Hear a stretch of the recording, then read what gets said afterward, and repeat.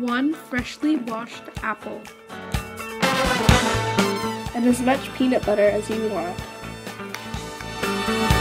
First, put the desired amount of peanut butter into your container.